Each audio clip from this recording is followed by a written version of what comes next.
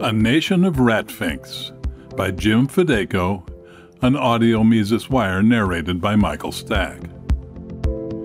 Ludwig von Mises wrote, A free man must be able to endure it when his fellow men act and live otherwise than he considers proper. He must free himself from the habit, just as soon as something does not please him, of calling for the police. Totalitarianism used to be the product of Hitlers and Stalins of the world, but your neighbors are beginning to grasp the power of a centralized government that exists exclusively to metastasize its evils throughout every human endeavor, a government that never sleeps and is always ready to put its nose into anyone's business. Just give the feds a call, they're ready and willing to assist with any effort that increases their power and influence 24 7. Are your children whining over carrots in their school lunch bag? Are you tired of hearing that Mr. and Mrs. So and so down the street let their children eat ho hos and ding dongs for lunch? Does the local school cafeteria serve chocolate chip cookies to anyone with 50 cents to spare? If the answer is yes, what do you do? Do you take control of your own family and lay down the laws of the household? Or do you blame this whole situation on those of the ilk of your neighbors, the so and so's? Taking control may cause some hard feelings for a few days and maybe even a week or two, but blaming the so and so's gets you off the hook right away. See, if only the so and so's joined you in your health crusade, your children would be forced to join. You know peer pressure and all of that. You hit the first bump in your road toward the progressive utopia when you realize that the so and so's living down the street are not really that friendly with you and are unwilling to follow your marching orders. Okay, next option. How about your best friend? He agrees that the ho hos are the devil's fruit, but he's not certain about the ding dongs. They do taste good with a tall glass of cold milk. Your crusade just isn't working, and your kids are still crying about their friend Johnny's lunch snacks. How about petitioning the local school board? Ask them to ban all unhealthy foods, at least those foods that you deem unhealthy. What is considered unhealthy is simply those foods you don't want your children to eat. All right, the list of foods has been defined, but how to get the school board to agree? Go to a meeting and call them all uncaring hypocrites. How can they sleep at night after claiming that they want the best for children, all the while knowing that little Johnny crinkles the snack wrapper at lunch in the school's cafeteria nonetheless? Those crusty yahoos on the school board don't even smile as you speak. They've got their own agenda to push. Those who struggle with their own parenting somehow become omniscient once elected to a school board or hired as an administrator. Sure, they pray that their own efforts will result in happy, healthy offspring, but they will not let that stop them from becoming the uber parent of all who attend the local schools. Omniscient and omnipotent? Certainly. Free and compulsory? Absolutely. Interested in this specific agenda issue? Sorry, no. A brick wall. Your crusade has stopped. Well, for a minute or two anyway. Then the idea hits call your state representative. Put the pressure on him. Tell him that you are a strong party member who wants the best for all children. Doesn't he realize that a health crisis exists? Children are dying. Yes, dying. Not just eating the snacks, but also those experiencing the second hand effects of snack attack they are bound to suffer a lifetime of pre snack desire syndrome. Your representative listens politely on the phone, but really doesn't sound interested in tilting at this windmill. Come on now, there are more pressing concerns that can be used to further the interventionist agenda. This just isn't one of them. So you are an unsatisfied constituent. Not to fear, you do have a congressman who delights in media coverage. He smells front page because the local paper likes to write about any Don Quixote who tilts for the masses.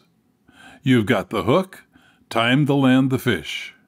He'll gladly support your efforts because children are dying. It's all right there in the latest research by the Americans Against Unhealthy Foods Institute. The congressman takes up the banner and enlists an eager bureaucrat in the Department of Health and Human Services to help craft the bill. This bureaucrat wants to make a name for himself. Sure, he sneaks the odd hostess cake at the gas station, but a statist career awaits him. It's election time, and enough House members are looking for the headline and public poll spike, and children are always a winner.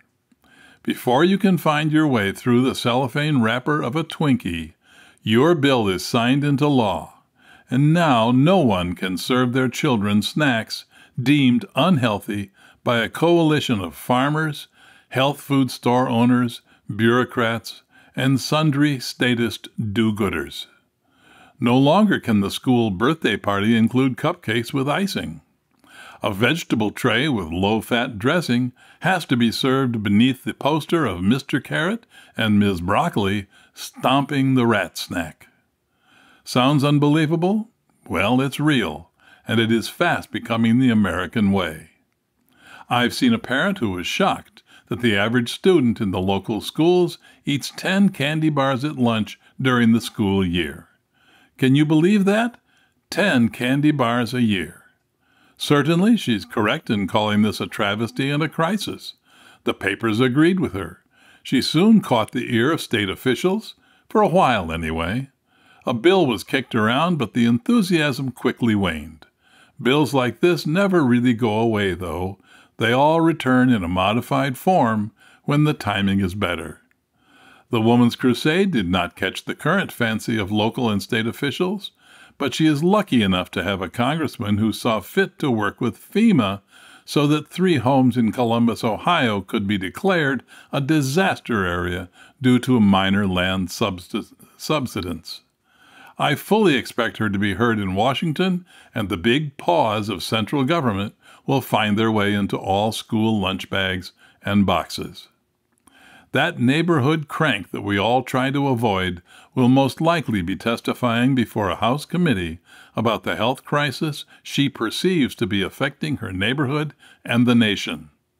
You pay her no mind, at least until she receives a pen from the President at the signing of the Unhealthy Snack Food Act, to be known as Our Children Come First initiative. Yesterday's crank is now your gulag commandant. Consider your options. Don't want to eat at a restaurant that allows smoking? You can either tell the owner that you are leaving because the smoke offends you, or you can work to force an outright ban on smoking. Approaching the owner is uncomfortable, but calling the local office of your congressman is easy. In fact, it will be a positive experience. Trust me, the elected ears want to hear your complaints. The constituent services worker in any congressional office loves these ideas. She'll listen attentively and be willing to work with you. Is that all about children, health, etc.?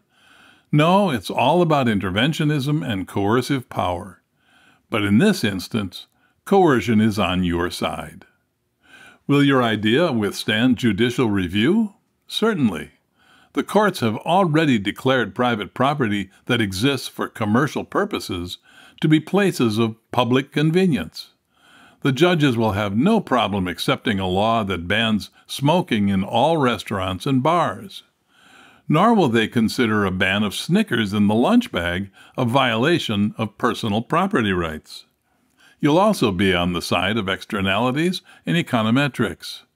Studies will appear that banning snacks in the school lunch bag will result in an annual increase in the local and national economies. Don't believe them? Prove them wrong, or at least try to prove them wrong.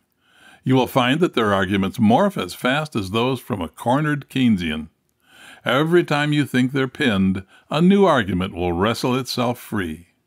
No matter that each new argument refutes a prior one, Polylogism is the name of the game, and logic, for some, ebbs and flows like tides in the Bay of Fundy.